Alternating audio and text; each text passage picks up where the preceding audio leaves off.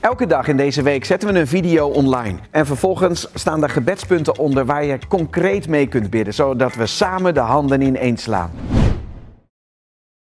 Good morning, brothers and sisters in the Lord.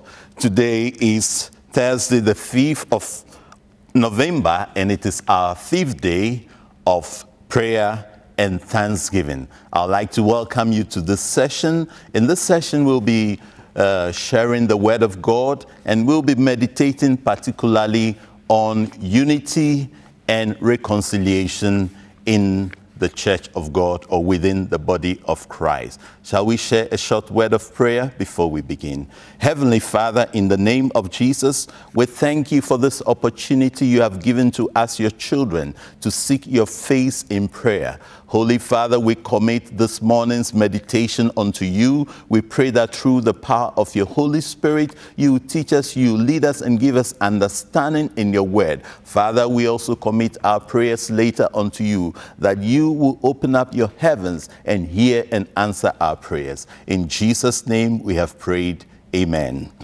Okay, we will now take our lesson from Genesis chapter 11. Genesis chapter 11, reading from verses 1 through 8. Shall we listen to the word of God? Now, the whole earth had one language and one speech. And it came to pass, as they journeyed from east, that they found a plain in the land of Shinar, and they dwelt there. Then they said one to another, Come, let us make bricks, bake them thoroughly. They had brick for stone, and they had asphalt for mortar. And they said, Come, let us build ourselves a city and a tower whose top is in the heavens. Let us make a name for ourselves, lest we be scattered abroad over the face of the whole earth. But the Lord came down to see the city and the tower which the sons of men had built. And the Lord said, Indeed, the people are one and they all have one language. And this is what they begin to do. Now, nothing that they purpose to do will be withheld from them. Come, let us go down there, confuse their language, that they might not understand one another speech. So the Lord scattered them abroad for there over the face of all the earth, and they ceased building the city. Amen. So this is a short story from the book of Genesis that concerns the building of the Tower of Babel. As I said, today we'll be focusing on unity and reconciliation. So, uh, in, in this episode, we saw that after the drought, the people, Noah and his children, were gathered at one place. The Lord's intention for them was to spread all out over the land. But the people came with one agreement. They came in unity. They came in agreement and they said, We will build a tower in this place and we will make a name for ourselves so that, and also we will not scatter around the earth. Now, building a tower was not a wrong thing, but we realized that the motives for which they were building it were wrong.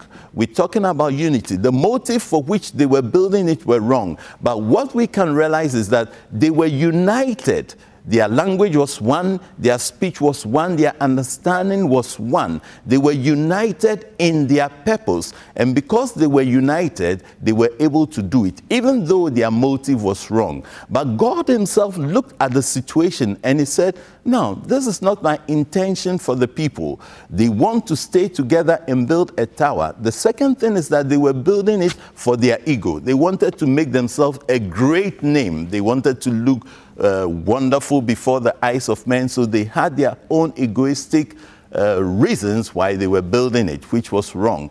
But even though they were doing something which was wrong, God said that because they are one, if we do not scatter them, if we do not put confusion in their language, there is nothing that can stop what they have purpose to do. The lesson we want to pick from here is that when God's people are united, when people are united, they can do things, either wrong things or good things. But when God's people are united, we want to do good things. And the issue is that so long as God's people stay united, and have one language, have one purpose in whatever they are going for, the Bible says that there is nothing that can stop them. That's why this morning we want to pause and focus on unity within the body of Christ. Uh, we see that God Himself has said it. That means the enemy of God's people, who is the devil, also knows that when God's people are one, when God's people are united in their purpose, there is nothing that can stop them from achieving what they want to achieve. So, what he would like to do is to release confusion, to release misunderstanding into the lives of the people. As a matter of fact, uh, misunderstandings and confusions are not new to our generation.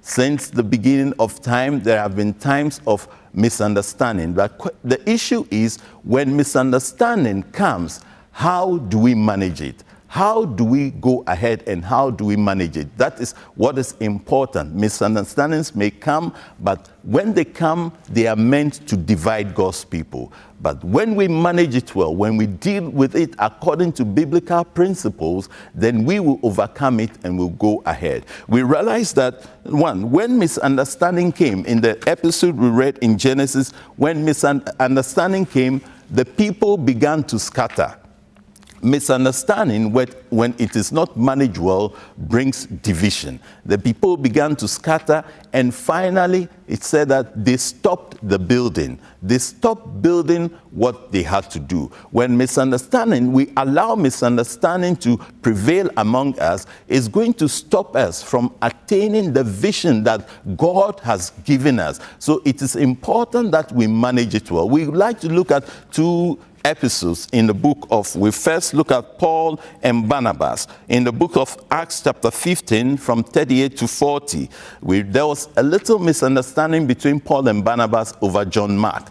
Uh, John Mark had re recently gone on with them on a missionary journey, but at, at Pamphylia, John Mark departed from them because he, co he could not continue. And now they were about to embark on a new missionary journey. And Barnabas wanted them to take John Mark with them, but Paul said, No, enough do away with this mama's boy. We don't want anyone who will come and depart from us in the middle of the journey. This story can be found in Acts 15 38 to 40. I read. But Paul insisted that they should not take with them the one who had departed from them in Pamphylia, and he had gone with them to the work. Then the contention became so sharp that they parted with one another. And so Barnabas took Mark and sailed to Cyprus, but Paul chose Silas and departed, being commended by the brethren to the grace of God. So now, here was a sharp misunderstanding between Paul and Barnabas. So at that time, they could not agree and left one another. But later on, when Paul was in prison in Rome, he said a very interesting thing. He wanted Timothy to come and visit him, but when he wrote to Timothy, he said to Timothy that bring along with you Mark, for he is useful for the ministry. That can be found in 2 Timothy chapter 4, verse 11. Paul writes, Only Luke is with me. Get Mark and bring him with you, for he is useful for ministry. So we see that Paul got reconciled with Barnabas and John Mark. That is how we deal with misunderstanding or division. When we have misunderstanding, it is important that we humble ourselves and get ourselves reconciled. Paul got reconciled in this situation. Paul also had a, a misunderstanding with Peter. For when Paul Paul was in ministry, Peter came. Paul had uh, fellowship with the, um, uh, with the Gentiles. But Peter, when he came, was first eating with them and having fellowshipping with them. But when some brethren came from Jerusalem to send from James, the Bible says that Peter began to withdraw. Peter began to withdraw, and Paul had to uh, uh, rebuke him, or Paul had to come against him and confront him with the issue. But when Paul confronted Peter, Peter did not depart. Peter did not go away and say, I'm angry, so I'm going away. Peter received the rebuke of Paul and they worked together. And we realize that later in the book of Second Peter, chapter 3, 15 to 16, Peter was recommending the writings of Paul. One of the reasons why the writings of Paul was officially recognized as scriptures is that Peter recommended the writings of Paul and referred to them as scriptures. We can find that in 2 Peter 3 15 to 16. You can read that on your own. All we want to say this morning as we meditate on these scriptures is that Though there are times where misunderstanding will come, it is important for God's people to get reconciled. We need to watch our motives, the motives with which we do things, so that we will not go outside the will of God, but we will be reconciled that the work of God can continue. As we read in Genesis, when the people were had misunderstanding, there was a scattering, and later they could not continue with the work. The work that God has begun with us in this city, we do not want any misunderstanding to stop it. We want to pray that God will gather all of us as one, that we will be of one mind, one purpose, so that no matter what happens, this work will go on and this city will be blessed. So I want to stop here and I want us to meditate this morning on these issues. What are your motives for doing what you want to do? Are you allowing misunderstanding to drive you from the kingdom? Or are you working your way of reconciliation with brothers and sisters? So, this is what we want to meditate on. And I just want to say a short prayer for all of us this morning, asking God to help us identify or um, check our motives. Our motives for doing things, we want God to help us assess our motives, that we'll do things with the right motive. Secondly, we want to pray that God will give us a place in our heart to forgive those who have offended us so that we would be reconciled to God. And finally, we want to ask that God will cause this work that has started in this place to grow and to continue and give glory to God. So, shall we pray? Uh, Heavenly Father, in the name of Jesus, we thank you for your word. We thank you that you have encouraged us through your word that when we are one in everything, Lord, there is nothing that we cannot attain. We praise you and we bless you for this. Father, we are committing ourselves unto you. We ask that, Lord, you help us to examine our motives for doing things, that we'll do things with the right motive. Also, we also pray for all of us. We pray for this church in the name of Jesus, coming against any division division among us. We pray that the enemy will not sow the seed of division among us. We pray even that when we have misunderstandings with one another, Father, help us to be reconciled in love. In Jesus' name, we also pray that, Lord, this good work that you have begun in this city, let nothing stop it cause it to grow and grow and become a great work covering the whole city, that men will come to salvation through your word. We pray for all the leaders of this ministry. We pray for the church council. We pray for all the pastors. We pray for all the cell leaders. We pray for all the workers. We pray for the media team. We pray for the uh, cleaning team. We pray for everyone who has given himself to work and promote the work of God. I pray your blessing over their lives. In the name of Jesus Christ, we pray. Amen.